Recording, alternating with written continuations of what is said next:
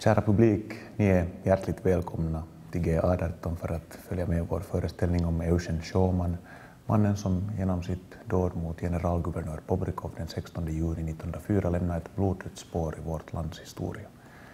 Vi kommer att bjuda på spel och sång och underhålla er på ett makabert sätt och gripa tag i ett ämne som skaver det finländska samvetet.